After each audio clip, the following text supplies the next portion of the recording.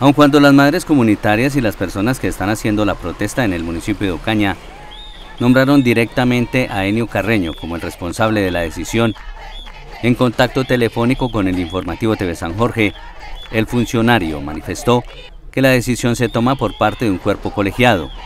No soy yo como persona único que tomo la que se toma la decisión.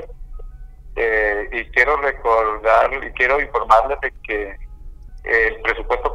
para esta actividad, los CDI, está aprobado. Lo único que está pendiente es por definir eh, la firma con los con el bienestar familiar, con el ICBF. Y esta es una decisión que se toma a través del cuerpo colegiado, que es el Consejo Directivo de la Caja de Compensación. El Consejo Directivo está compuesto por 10 personas y entre esas 10 pues estoy yo. Entonces, es una decisión que se toma a través del Consejo. Sin embargo, la caja de compensación familiar no estaría descartada del todo.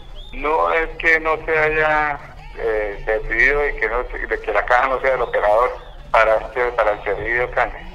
Lo que sucede es que la caja debe presentar al cuerpo colegiado un proyecto, incluyendo presupuesto y todo lo que contemple el proyecto como tal, y al proyecto se le hicieron algunas, se solicitaron algunas aclaraciones que, que no se han podido todavía presentar nuevamente por el, por el, la administración y es por ello que estamos abiertos a, a nuevamente sentarnos y, y analizar el proyecto con las correcciones que haya que hacer.